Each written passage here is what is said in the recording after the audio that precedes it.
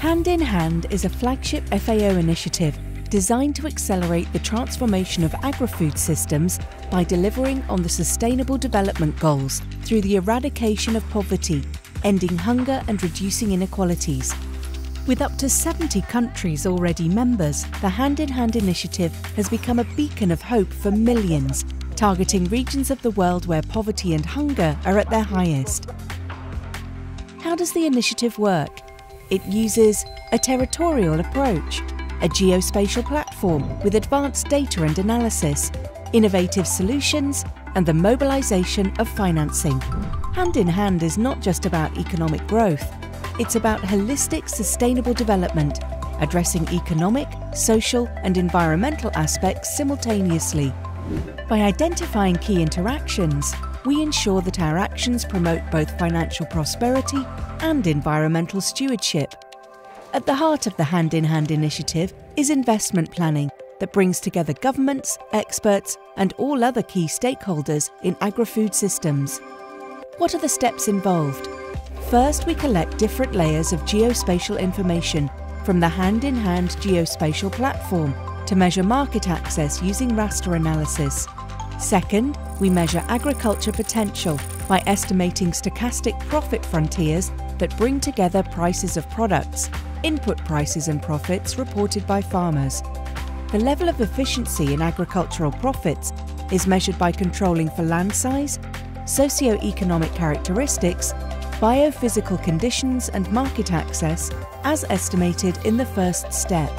Third, we quantify the level of efficiency relative to the agricultural potential estimated in the second step. Fourth, we combine steps 2 and 3 with poverty maps to prioritise interventions and develop the typology of microregions to be used for the prioritisation of investments. Based on this analysis, we build a typology of microregions. Typology Honduras, for example, hand in hand focuses on the green areas where we know there is agricultural potential, with all our investment plans designed to resolve bottlenecks that farmers are facing in order to unleash their potential. By doing this, we can help farmers move out of poverty in a sustainable way. So, the result is investment plans that actually transform communities, strengthen local economies, and make them more sustainable. Tracking the effects of these new investments on greenhouse gas emissions and improving their design to further reduce carbon footprints is critical to achieving Agenda 2030 and the Paris Agreement, but also to attract climate finance. Using state of the art models like the EX-ACT Carbon Balance tool allows countries and investors to make informed decisions.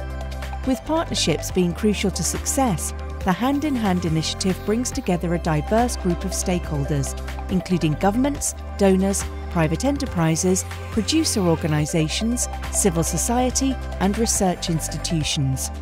These partnerships are critical to implement our goals from data analysis, technology and funding to capacity development. Because governance is about ensuring national ownership and leadership, the Hand in Hand initiative puts countries in the driver's seat.